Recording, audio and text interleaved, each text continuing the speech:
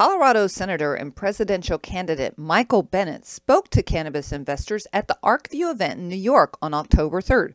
The recently passed banking bill needs to pass the Senate next, so investors were anxious to hear what he had to say. I think that the what you should do is get practice succeeding.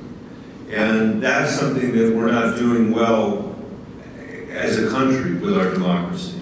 And this banking bill, I think, is the perfect opportunity for you guys to organize an effort to see whether you can get it through the Senate. You shouldn't expect that you will get it through, but you should try, and it might actually happen. And once you got that through, then you can build on it. I, I think one of the things that we are victims of in our own country, in part because of how dominant social media and other things have become, is that we tend not to be as strategic as the people that are trying to keep things the same. The people that are trying to keep things the same are very strategic about keeping keeping the stuff the same. I mean, and Mitch McConnell really has mastered the art of creating a constituency to keep stuff the way that it is. Not on this topic, but on many other issues ranging from guns to climate change. But here, you have an amazing opportunity to take the momentum. That was a surprising vote. Was a surprising number of people who supported in the House.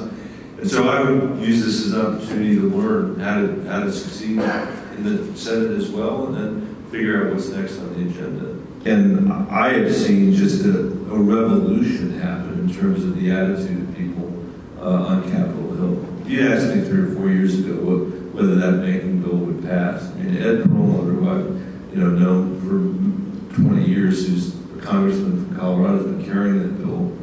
I mean, if you had asked us three years ago, is that bill going to pass? We would have said, there's no way. And now it passed with more than 300 votes. And I still can't frankly believe that.